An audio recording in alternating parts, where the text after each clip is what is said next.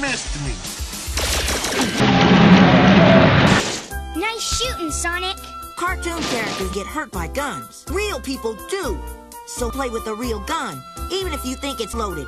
How one of my pals getting hurt by a deadly weapon that's a toy.